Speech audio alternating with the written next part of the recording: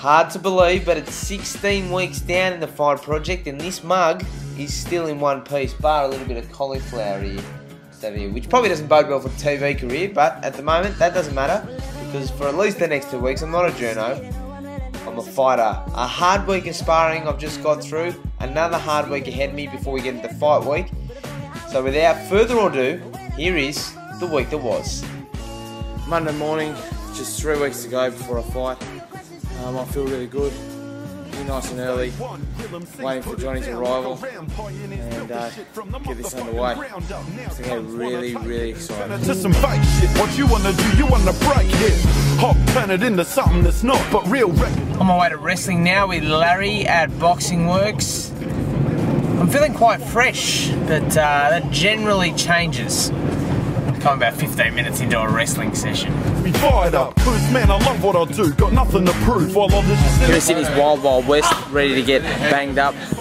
Some five minute round frenzies. So here we go. It's all their deliverance fiction. That's why they struggle spitting every syllable they've written. Shitting all over their game plan. Look at the board now. Quilo one versus none. Yo, you know the score now. The fucking score now. Quilo's fat. You like this.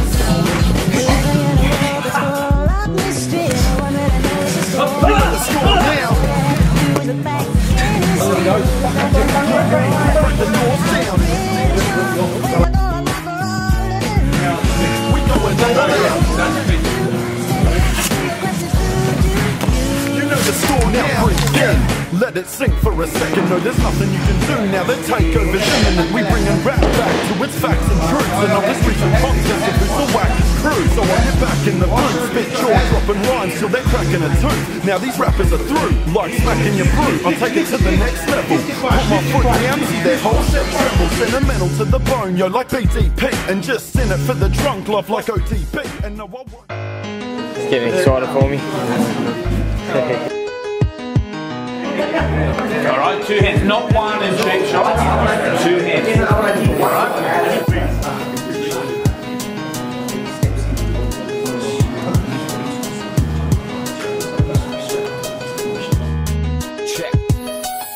Biotic on the mic and I'm setting the tone Rapping that homegrown flavour on the deck with a cone. Step in the zone and you'll see that we kept on our toes. We collect respect for shows, content and technical flows.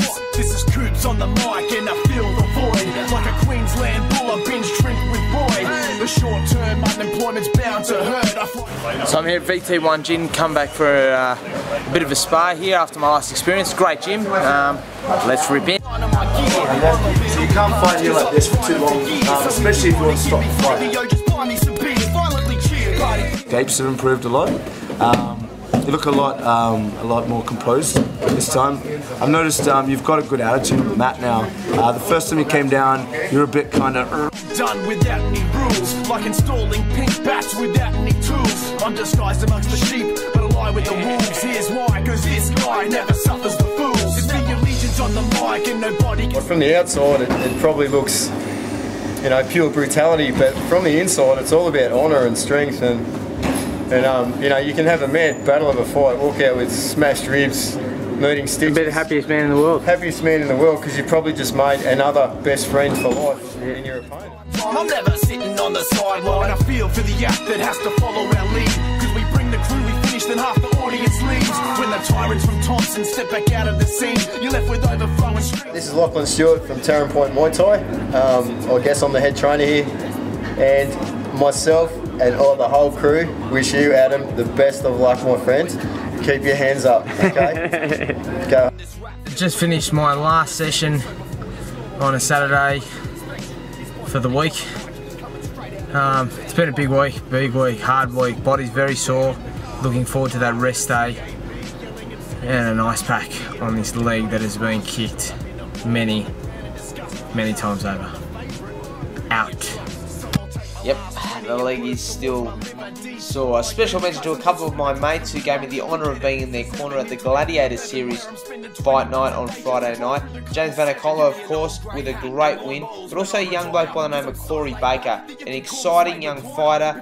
He was on top and then got caught by an armbar. Mate, keep your chin up. We're all very, very proud of you. Now, the Fight Project, Saturday, 24th of March. It all culminates at the Sydney Olympic Park Aquatic Centre. There is still tickets available if you haven't bought them yet. If you have bought them, you've got a new job. You need to spread the word. You need to send a work email. You need to get on Facebook. You need to tell all your Twitter friends. Hell, send a messenger pigeon to someone. I don't care how you do it, but we need to sell as many tickets as possible to raise money for those kids fighting cancer at the Children's Hospital Westmead Oncology Unit.